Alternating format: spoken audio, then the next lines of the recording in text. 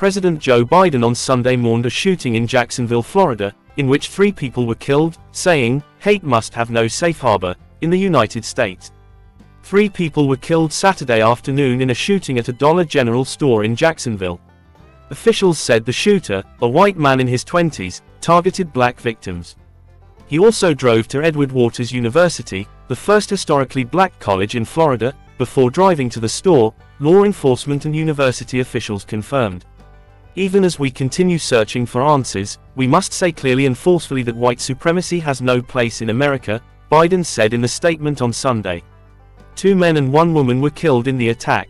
The president noted that the shooting came on the 60th anniversary of the March on Washington, one of the most important civil rights demonstrations of the 20th century. We must refuse to live in a country where black families going to the store or black students going to school live in fear of being gunned down because of the color of their skin, Biden said Sunday, adding, silence is complicity and we must not remain silent. Attorney General Merrick Garland confirmed in a separate statement on Sunday that the Justice Department is investigating this attack as a hate crime and an act of racially motivated violent extremism. No person in this country should have to live in fear of hate-fueled violence and no family should have to grieve the loss of a loved one to bigotry and hate, he said. Police on Sunday identified the shooter, who died by suicide.